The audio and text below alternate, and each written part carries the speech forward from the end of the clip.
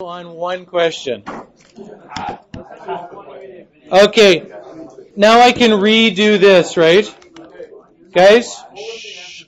It would actually be really good if I could talk in a normal tone of voice, because when you're watching the videos, it sounds like I'm yelling at you, okay?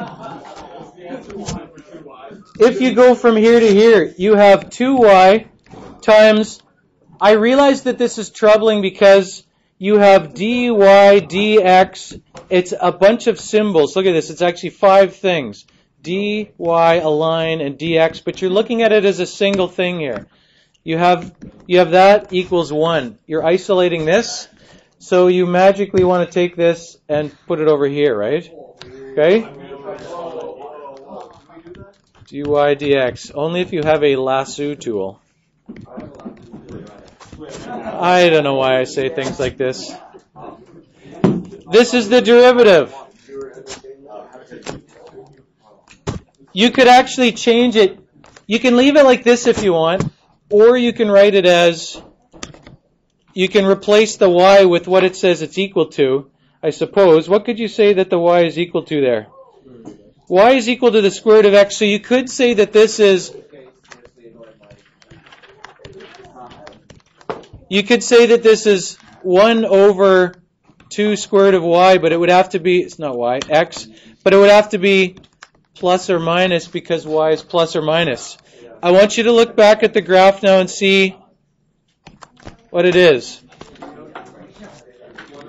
Okay, this is saying the de- the derivative of this the slope of this curve at this point do you remember what the x what the what the expression was? It was 1 over 2y. The y value here at this particular point is negative 2. The slope is what's the slope?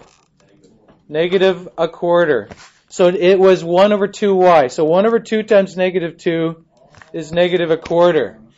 If you looked at it as a function of y, if you look at it as x as a function of y, then you have a unique slope for every y value, right? Like for this particular y value, there's only one slope here. For this particular y value, there's one slope. If you look at it as how I changed it to, I changed it to that, right? If we're looking at it as from the x point of view, there's plus or minus because there's two slopes at this x value right? There's positive or negative. So if you go back to this, if we look at it from the x value, when x is 4, there's actually two points on the graph. It's 1 over 2 times the square root of x plus or minus. Square root of x is 2, so it's plus or minus 1 quarter. It's there, or it's this one up here, right? There's two different places where it has that slope. Okay? If you go to if you go to this value here, remember that if we do the 1 over the x or y value there, it's going to be undefined because it's 1 over 2 times 0 or 1 over 2 times square root of 0, which is undefined. Okay, the slope of that curve is a vertical tangent there. It's undefined because if you come from this side, it approaches negative infinity. If you come from this side, it approaches positive infinity, the y values. Okay, I think we probably get this now if you want to do this, like you could have, what you could have done is you could have solved it for y and then found the derivative the usual way. But we're going to look at things where y appears in more than one place or it's more convenient to do it without solving for y, which you can do here. I would like you to try doing that now. Find the derivative of this. You may well have done, looked at what the graph of that looks like it's a circle. It's a circle with a radius of 5. Okay? I would like you to try and, if you want, you can graph it on your calculator, but you have to isolate y. But you can find the derivative by taking both sides and differentiating implicitly. You're not explicitly finding it. It doesn't say y equals so clearly y prime is. You're finding the derivative by implicitly differentiating, saying if this is true, then the derivative of each side has to be equal as well. Okay, move this over and make room for it. if you want the graph, somehow I've lost the, where's it gone here? There it is. I will pause, start this. Finding the derivative of each side. If you already know that if you have the derivative of two things here, derivative of that and that, you find them separately. The derivative of x squared, this is easy. Derivative of x squared is 2x. You don't even have to use the chain rule because it's x squared and the with respect to x. This one's the one that's the one you have to think about more. It's 2y, but then it's times dy dx because you're finding the derivative with respect to x, not y. Okay? The other side is also easy because it's a constant. So this is 0. Then we want to isolate dy dx here. It's implicit differentiation because you don't get the derivative right away without doing any isolating. It's it's implied in here what the derivative is, but it, but you can't just read off right away what the derivative is. I'm I'm telling you this statement tells you what the derivative is without really telling you right away. It's not explicitly stated, right? If if you are going to watch a, a show on TV and it says, "Caution: the following show contains scenes of explicit violence," what are they saying? You're you're going to see the violence, right? You're going to see the violence. They don't ever say, "Caution: the following scene, uh, the following show contains scenes of implicit violence." If they did, what they would do is something like somebody's raising this big sword in the air, and then they cut to a scene where somebody's kind of lying on the ground, dead, but you don't actually see what happened, right? They are clearly implying what happened. And as time goes by, things become more explicit on TV, right?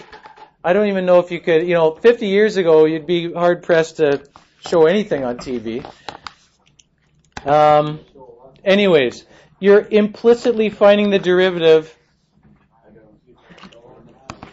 Can we can we solve this now? Using your lasso tool, you move this to the other side and make it negative. Lasso, that's what it's called. I know you don't. Then what you're forced to do is just write it again, unfortunately, right? You're forced to write negative 2x over here equals 2y dy dx. And then dy dx equals negative 2x over 2y. And then dy dx negative x over y. Please think about what this means. This means that the derivative is the x coordinate divided by the y coordinate times negative 1 the x coordinate divided by the y coordinate times negative 1. If you want what it said here is the derivative at this point, you sub in those values. At, what was it, 3, negative 4? Yeah. dy dx equals negative 3 divided by negative 4, or positive 3 quarters. We will check with this thing here to see. Okay? I like how they give you three chances to say no now. Yes, are you're sure you really want to do this? Are you sure you are you sure when you said yes you really were right when you said yes? Uh, what do we want? We want down here, what is it, 3, negative 4? This point? Okay, the slope is 3 quarters. The slope is 3 quarters there. You could put this on your graphing calculator, but you'd have to put the two halves of the circle, the positive half and the negative half. If you wanted to do that, you, if you really wanted to put it on your calculator, anything, even if it isn't written like a function, you can solve it for y and put it in as two halves. If you were to take x squared plus y squared equals 25, you could even if you don't have a lasso tool, you could write 25 minus x squared. And you could say y is plus or minus the square root of 25 minus x squared. Thank you. Okay, so you could put y1, I'm living on the edge here, with how far, okay, y1, y2,